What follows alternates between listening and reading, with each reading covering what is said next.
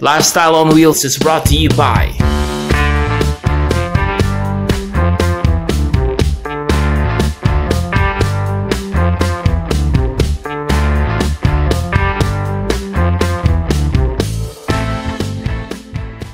The views and opinions expressed by the host and the guests do not necessarily reflect the show or the network.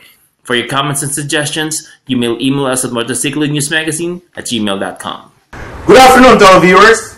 My name is Tyran and welcome to Lifestyle on Wheels.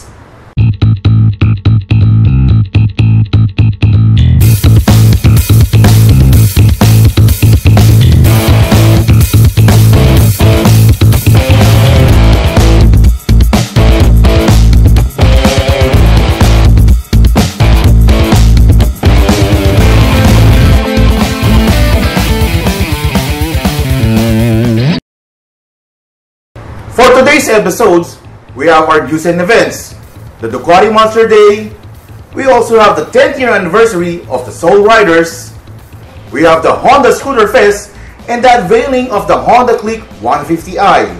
For our motorcycle news segment, we have the Suzuki Raiders Summit 2017 Supremacy. And of course, for our car side, we have the Force Preseason Drivers Briefing. We also have Driven to Ride, hosted by Joey Storm Rivero.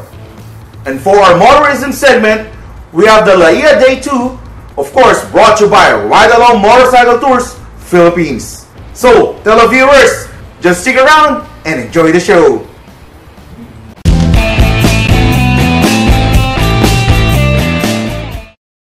So, ngayong araw na to, pag-uusapan naman natin ang Laia Day 2, kung saan kasama pa rin natin ang kwelang-kwelang trio, sina Pat, Borge at Tratsky ng Ride Along Motorcycle Tours Philippines. Kaya mga televiewers, panoodin nyo to. This week on Motorism, our ride holiday destination is La Ia in San Juan, Batangas. So, after 2 and a half hours ng pag-ride, ah, nandito na tayo ngayon sa Laia. At pag sa Laia, dalawa lang ang nire-recommend namin pupuntahan nyo. Isa doon ay ang Aqua Verde Resort. Halika. Stay at Aqua Verde Beach Resort, La Ia's best beach resorts. Magandang araw mga motorista. Nandito po tayo sa Aqua Verde. Ako po si Christine. Aqua Verde po is a nature resort here in La Ia, San Juan, Batangas. We are about 3 hours away from Manila. After all, the resort owns one of the wider beachfront spaces in the area, where the best seats are the cozy sun loungers or in the shaded cabanas fronting the ocean.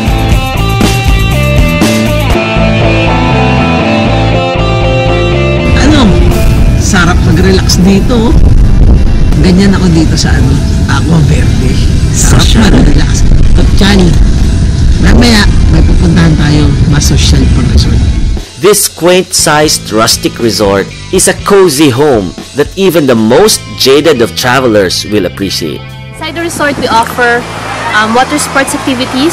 So, kayaking, paddleboarding. We also have water sports, uh, motorized water sports activities like jet skis, speedboat, um, flyboard, which is yun po yung pinaka-latest natin for water sports.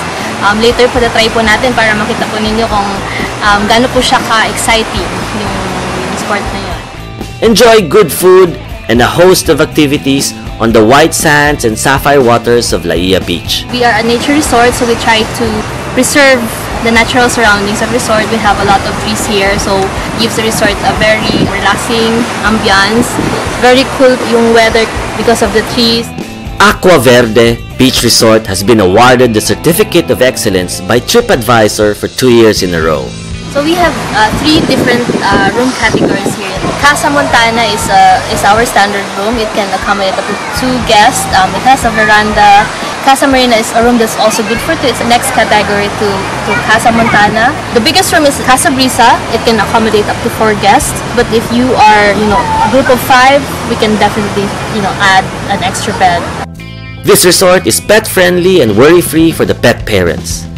The resort warmly welcomes your fur babies and they too can enjoy the experience at Aqua Verde Beach Resort. Parking po natin is inside the resort and we have 24-hour security. parking is not really that far from the, the room, so rest assured that your motorcycles are safe inside the resort while you, you know, unwind and relax. Kusina offers local specialties and international favorites. Let's go! Ano? Cocina!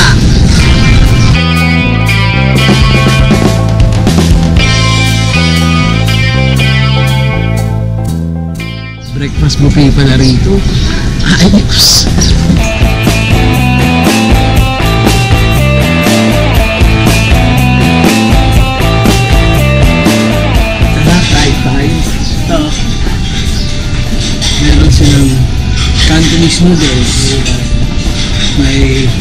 Fried rice. Arroz caldo. Siyempre, ang, ang pagkain nakaka-high blood. Tuyo. Merong french fries.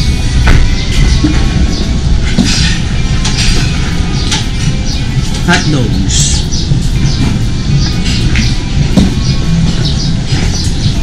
Corned beef.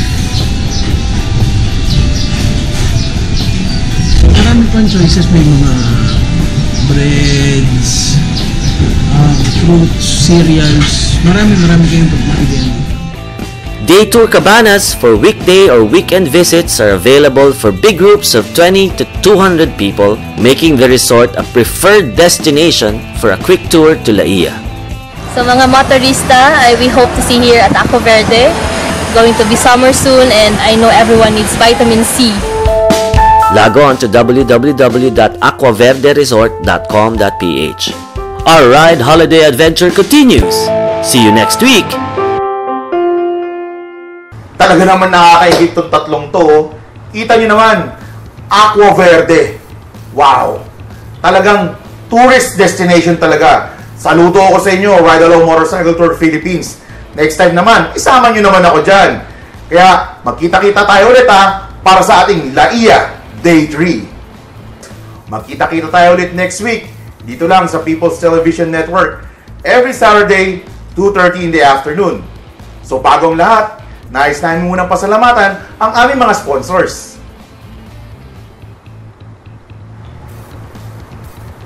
And of course, kung hindi nyo pa nilalike ang aming mga social media pages, i-like nyo na sila.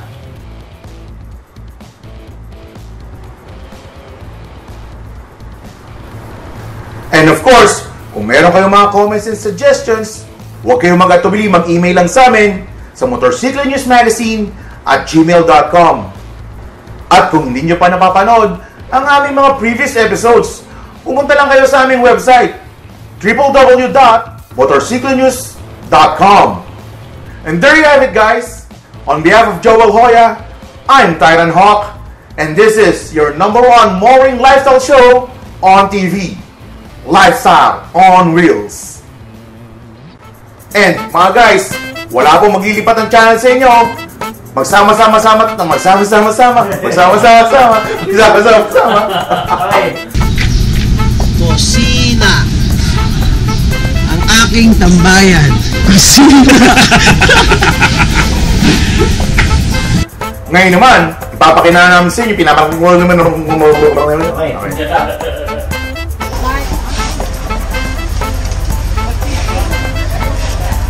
Game na ba? Ah. Ay. Ganto kami dito pag nauuhaw. Inom ka! Inom ka! pag nauuhaw, pamugas ang paa. Yan. Luminit. Ayos warm water. Inom ka! Inom ka! Halika. Please, water mo mo, Lifestyle on Wheels is brought to you by